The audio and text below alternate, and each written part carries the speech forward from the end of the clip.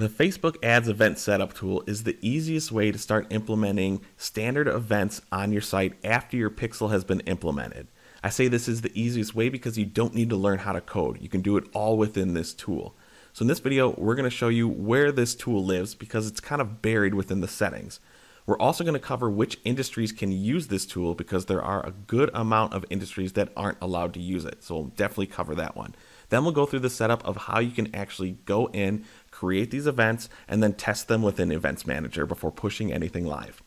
Before we hop into Facebook Business Manager, I want to talk about a few things you should know before using the Event Setup tool. The first thing is that you need to make sure that the website you are using has the Facebook pixel on it. The event setup tool lives in Events Manager where your pixel is, and you have to select the pixel when using this tool. So if it's not on the website, there's no point even running through the setup tool because it's attached to the pixel. The second thing is that you must have admin permissions on that website's pixel. It's another setting within Events Manager. Having just an admin permission to the ad account won't do. Next, in order to use this tool, you have to turn off all your ad blockers. Once you're done using it, you can always turn them back on within your browser, but we need them off for this tool. And last, your business cannot be in a regulated vertical. And Facebook describes these businesses as investment banking, brokerage, insurance, financial services, retail, credit unions, commercial banking, credit in general, financing, mortgages, pharmaceutical, and then health. So if your account is in one of these industries, you can still set up events manually, you just cannot use the event setup tool. So now that we know this, let's hop into Facebook Business Manager.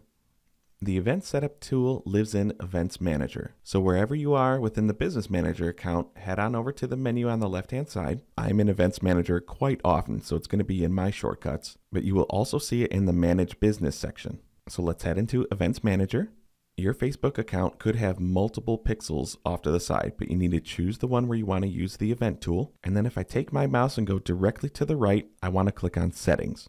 When I scroll down, we see the event setup section, and then we can click on the open event setup tool. Next, enter in the website, and hopefully you understand this already, but the website we're entering is the website that contains the pixel we are in right now. And that's why the very first thing I said in this video after the intro is that you need to make sure the website has your Facebook pixel on it. So now let's open the website. And when they take us to the site, we see the Facebook event setup tool pop up. Off the bat, there are two different types of events that we can create tracking specific button clicks or tracking a URL. We're going to cover each one, so let's start with a new button. If I click on this option, we see the pop up goes away. And there are certain elements here that Facebook highlights that we can choose to use for the specific event. You see the notification on the bottom, but I can keep scrolling and I can see other options for me to choose for the specific event. Clearly the YouTube channel is important to us, so I'm gonna choose this link right here as the element I want to track. Now that I have that option highlighted, we see the pop-up come back with the next step. So now we get to choose the event type we would actually like to track. Think of this like the event category.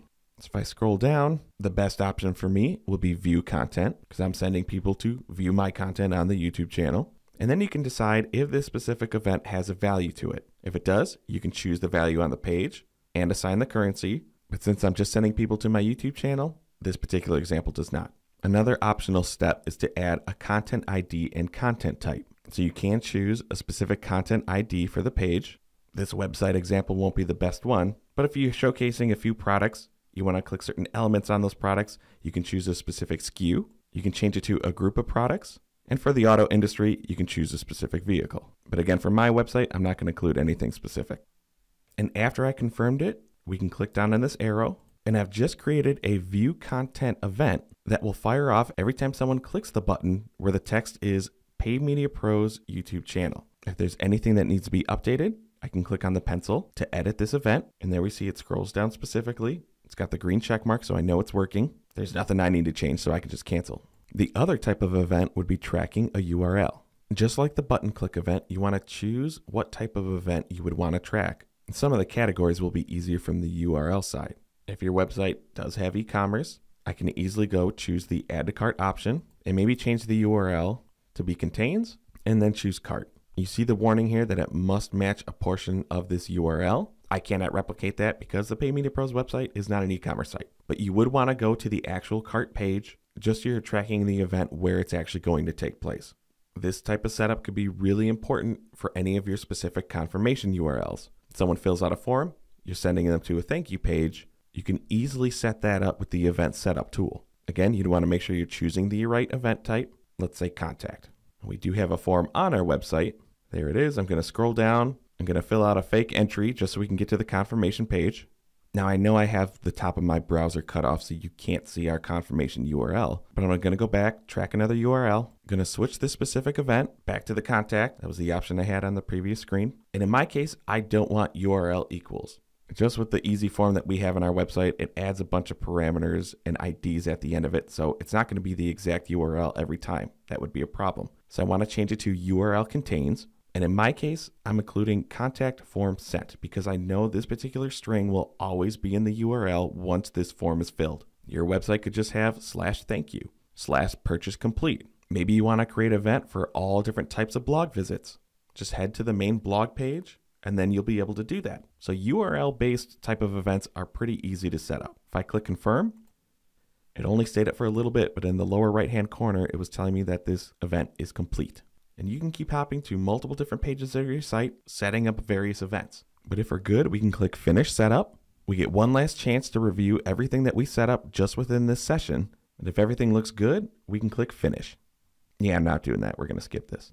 And now we're sent back to the Events Manager. Now, to make sure our events are working, we can head back up to this pixel navigation and go over to the left to Test Events. If we scroll down a little bit more, our website is already in there. So let's open this button again. And remember the two events that we set up. First was the click interaction for this particular link. So I'm going to click on this. It did send me to the YouTube channel. That's the function of the event, but now I want to go back. The second event was the form. So let's go over to the form page again. I'm going to fill out a fake one one more time, submit it so we can get to the confirmation page again. Once more, you cannot see the URL, but I know I'm on the completion page. So then we can head back to Events Manager and see if these events went through. Facebook says the events should appear within 30 seconds after the interaction if they are firing correctly. So if we look to this setup method column, we see there was the contact event because the setup method was the event setup tool. It fired today, pretty much within the minute that I actually tested the event on the website. And then the view content event, that was the click that was going to the YouTube channel. And we could see it was just less than a minute earlier than when I tested out the form. So now I have confirmation that these two events are working properly. If I want to use these events with Facebook's new aggregated events measurement, we can head back to Overview, click down into Aggregated Event Measurement, configure my web events because I am an admin on this pixel. I need to choose the approved domain for this pixel. I have the other one blurred out because I am attached as an admin on a different website. Click Manage Events. Understand this will pause my ads for a while, but this is a dummy account, so I don't have to worry about that. And then I can look at adding the new events I just created with the setup tool. First, I had to confirm my pixel. And there I chose the contact event that we just created. So I could save it and then I could start using this event for conversion optimization. I'm not going to go through a ton about aggregated event measurement because I recently just recorded a video on this new setup. So you can see with the button click and the URL options, the event setup tool can be pretty convenient for basic events. If you have a clean URL structure, I'd rather use the setup tool than trying to create a specific event within Tag Manager and having it pushed back into Facebook. But you probably noticed when I was doing the button click events that not everything on my page was highlighted. I couldn't choose like a video view event or certain link clicks that went away from my website. And you probably noticed that not all buttons were highlighted. So you may have to use a different tool like Tag Manager to get specific events you may want recorded within Facebook Business Manager. But if you have admin access to a specific pixel, it's worth checking out because it may save you a lot of time in the future. But if you have any specific questions on the Facebook Event Setup tool, the Test Events tool, or possibly Aggregated Events Measurement, please let us know in the comments below. Thanks for watching our video. If you found it useful, give us a thumbs up below. We release a new video at least once a week, so if you want to see more from the Paid Media Pros channel, be sure to subscribe.